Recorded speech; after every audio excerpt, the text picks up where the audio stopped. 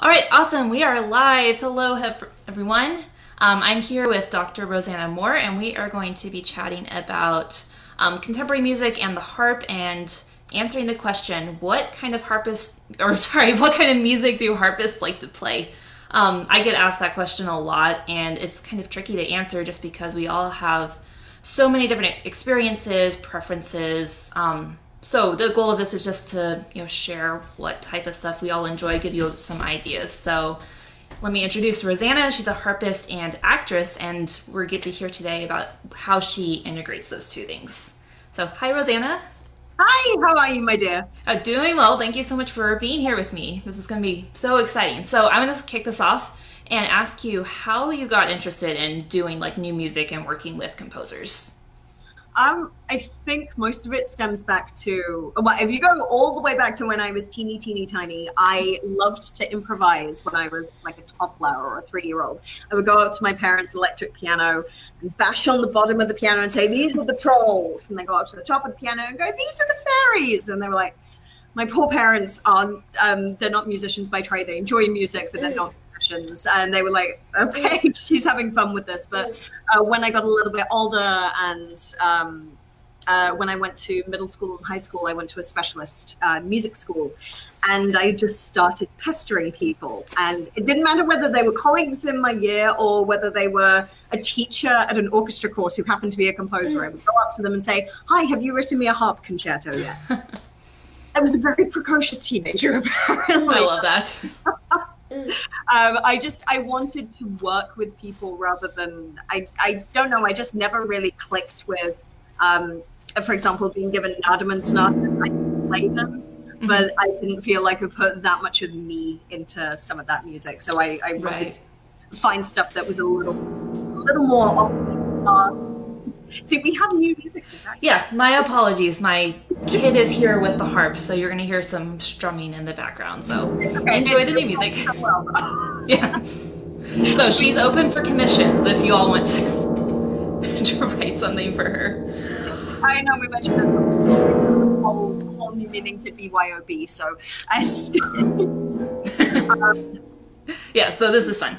So yeah, I love that. I actually have memories of trying to improvise on the piano too, and drove my parents absolutely insane when I thought it would be fun to demonstrate a lion on the keyboard. They're like, "How about not? Let's do you know dolls or something quiet, flowers." I was like, "No, lion. Let's do a lion." I used to sit my poor parents down for hours at a time and line up all of my toys and make like this musical, playing the piano and singing and like making little costumes for my toys. I, I enjoyed. I was clearly a very creative my poor parents were sat there for. They've told me recently they were these things were hours long, and they were going, "Yep, sweetie, this is great." Oh, I love that. Awesome. So, what types? I know you do a lot of different stuff. Like, what types of compositions do you enjoy the most? Um, and how do you integrate, you know, theatrical elements into that? Because that's, you know, not my area of expertise at all. Yeah. So, um, to talk about my expertise in the drama thing first, when I was a teenager and I was applying to university, I was very torn between do I apply to music school or do I apply to acting school? As I mentioned, I'd been in a specialist music school for five years, so it made more sense to go into music. And I basically realized that I would miss playing the harp more than I would miss acting. Ended up missing acting a lot, so I started um, looking to integrate some things into my performance. And that started with an undergrad thesis uh, and actually became my research for my doctorate, which is using different theatre practitioners uh, and different techniques that they use to enhance the um, actor's performance and putting that into music, put it especially into music that doesn't have words. Because obviously, mm-hmm. singers get some of this training already right. because uh, sing, singing all these opera roles or even with art song that you have words to kind of associate with what you're doing and um, the motions um, that they're singing and um, moving around. Yeah. But with music, you don't have that. It's you might have a piece that has a poem that goes with it, or you might have something that's purely called mm. sonata, and sort of finding a way of unlocking that extra mm. level of um, performance mm. practice.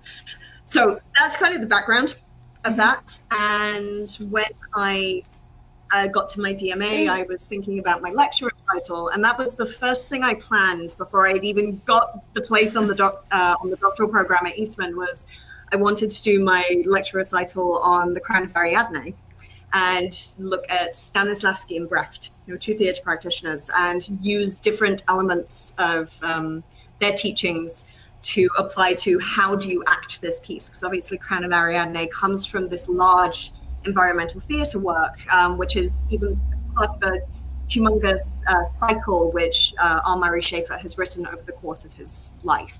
Um, and obviously, the harp, the harp, and the harpist is Ariadne in this particular play, mm-hmm. and um, Crown is just an extract of this humongous work. So I, I wanted to really delve into uh, what that was going to mean. And as I mentioned, I like pestering people. So I started uh, chatting to composers and asking them if they'd write me pieces that had a theatrical slant. So uh, Sean William Calhoun, who is a brilliant, brilliant, brilliant composer, he writes beautifully for harp. He gets the instrument so much. Uh, I, I, yes, I agree with you, Ruth. um, he had written a bunch of stuff for, uh, for me before, but he wrote a piece based on the fall of the House of Usher, where I basically get to go crazy on stage and do these uh, whispering Sprechstimme stuff whilst I'm playing at the same time. Mm-hmm.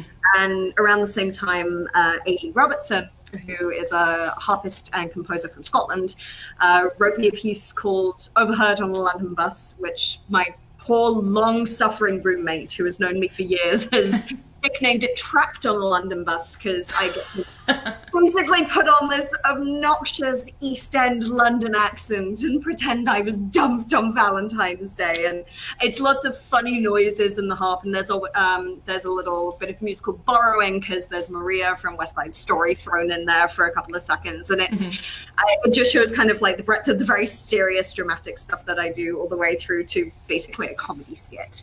Um, and that's just some uh, some of the stuff that I'm trying to do to um, grow this uh, this part of playing the harp and grow this um, section of contemporary music. So as I say, there's a bunch of stuff like yeah. this. There's there's kind of some stuff like this for percussionists. Um, yeah, they've got all sorts because they have so many things that they can do. There's pieces where they are playing um, plant pots with knitting needles and reading a poem. And um, so I'm trying to kind of build on what you see in a lot of percussion pieces and bring that to some solo harp performances. That's awesome. That's so exciting because I don't have any experience in acting. I probably would help my performing, but it's so cool to see how those two mm. you are integrated creatively. Um, you've uh, mentioned a couple of them, but are there any your favorite collaborations you've done? Whether you know it's the piece itself or it's the composer you've worked with, and what made it your favorite? Um, oh gosh, or if you're I, like me, maybe you don't have a favorite and you love I them all. I don't know if I have a favorite, but there's there's a bunch that I can mention. So one of the most recent ones is working with Kincaid Rob on um, this new Liebeharp or Classic work uh, called Diamondback Darlene, yeah. which is going to have a children's storybook um, go along with it, and I get to mm-hmm. narrate and play at the same time, um, which is just so much fun. It's just it's silly and it works really well. I'm realizing the older I get that in another life I was probably a children's TV presenter. Yeah. mildly terrifying, but um, uh, that piece really works for stuff like that. And yeah, I saw your premiere of that. That was beautiful. Oh, so fun fun. It's and again, this is why I'm actually made up today because I need to finish doing a recording for that right after this. But um, yeah, that's a really great piece, and I hope that's going to start a long collaboration with Kincaid. Um, Absolutely, he's the, brilliant. Oh, he's great. One of the first pieces that I worked on, though, um, wasn't a piece that I commissioned, but a very well-known work is the final movement from Paul Patterson's Bugs Suite, Mosquito Massacre, which is great because you just get to pretend there's mosquito flying around your face as you're trying to practice. And it sounds like terrifying. Oh, it's so much fun. I played it for my auditions, um, uh, for my master's auditions, and I think I scared the panel of everywhere except for Eastman. Uh, Professor Bride just sat back playing throughout the whole thing, and her poor TA, I think it was Caroline Reyes, was in the room. She was just looking at me going, "What is wrong with you?"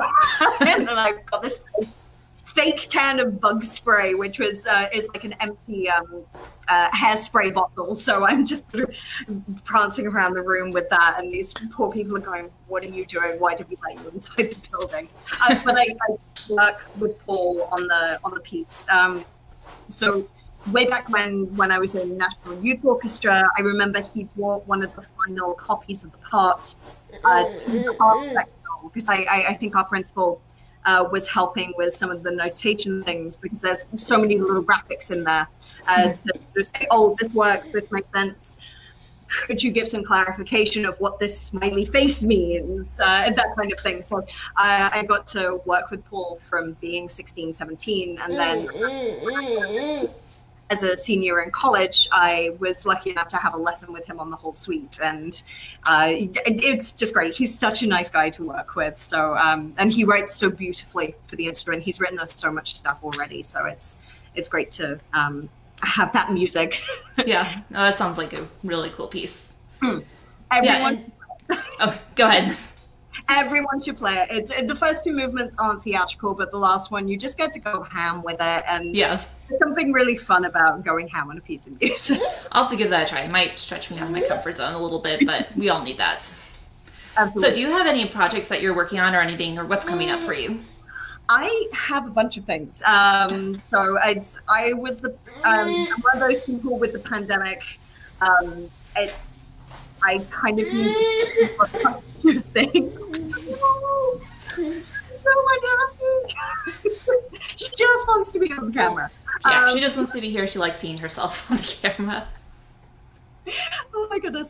Um, so yeah, I, I got the pandemic hit and I needed to do things to keep myself busy. So um, my bassoon and harp duo has been working on this project that we started last year called Women Are, which is um, a project of basically commissioning a bunch of female identifying composers from around the world to write us pieces based on basically what it is like to be a woman. So whether it's mm-hmm. an aspect of growing up, whether it's um, being a parent, whether it's any of these things. I, I, think one of the pieces by Amy Nam um, looks at the the difference between composer in French. So you have compositeur, which is just composer, or compositrice. You get to be a female composer, and it's mm-hmm. she, um, she made a piece out of having to choose which which she wanted to be listed as in a program.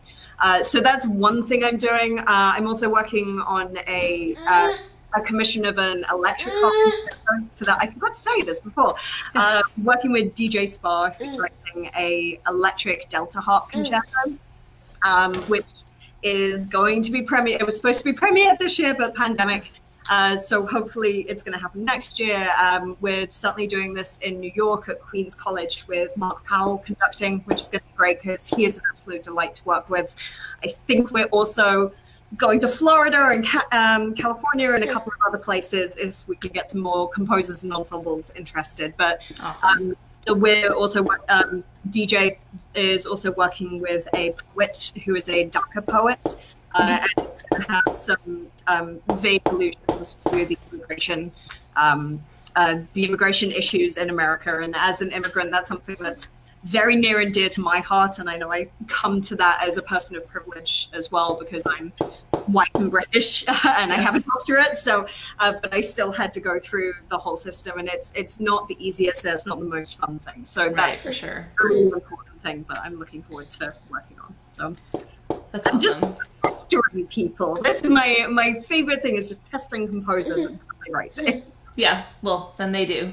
Yeah, that's really interesting about the Delta harps. I there's sorry, um, not a lot of music written for it, um, because the bulk of people who work with it improvise, but then a lot of us who you know want to explore with it, goodness, don't have a lot of yo a good starting place. Okay, Ruth, I think we're gonna have to probably sign off. But Oh, no. But um talking about two and a half things. We've not been talking about you enough. Clearly. I know. okay, now she's happy. Oh. But yeah, uh, a lot of the Delta harp stuff, um, just for people who want to explore it and experiment with it, there's not really any music written for it. So that's kind of an interesting way hmm. to um, just start, you know, make it more accessible. Yeah, and, and DJ is not only a fantastic composer, but he's uh, a guitarist and electric guitarist, and uh, I believe he won a Grammy a few years ago for his um, of um, guitar concerto with the London Symphony and um, uh, JoAnn Falletta conducting. So mm-hmm. he's he's a brilliant um, performer as well, and obviously knows everything about guitar pedals. So I, I think there may be some like guitar pedals and sampling and stuff being thrown into this piece, which which will be really really good fun. That's gonna be amazing. I can't. I, am gonna that. have to learn how to work with other pedals on on a pedal yeah. So, and new technology you do not put together very often, but it'll be fine. Yeah, just takes practice. Awesome. Well, thank you so so much for being here with me and you know, it was so much fun to talk to you. Hopefully, we gave you know you all who are listening some ideas, and we will be back. The next person I'm interviewing um, later this month is um, Joe Redman, who's a composer and harpist. So look forward to hearing what he has to say as well. And we'll go ahead and sign off. So thank you so much, Rosanna. Thank you so much. It's been wonderful chatting with you. Yeah, awesome. Talk to everyone else later. Bye.